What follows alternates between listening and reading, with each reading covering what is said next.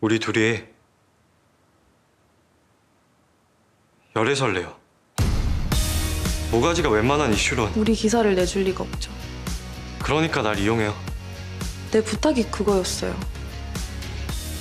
하... 좀 허탈하네요. 사실 전화하고도 몇 번이나 망설였는데. 근데 난 이유가 명확한데 서지한 씨는 왜 그러는 건데요? 복수요. 나한테도 그런 적 있어요. 1%의 가능성도 없단 걸 증명한 거라고. 아이러니하게도 난 그 인간의 유일한 실패작이 된 셈이죠. 그런데도 그 인간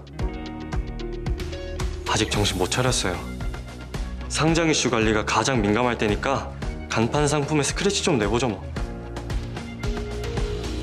자폭이에요.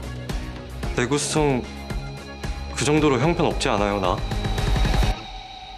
사실 무근이라고 할게요. 물론이죠. 고마워요.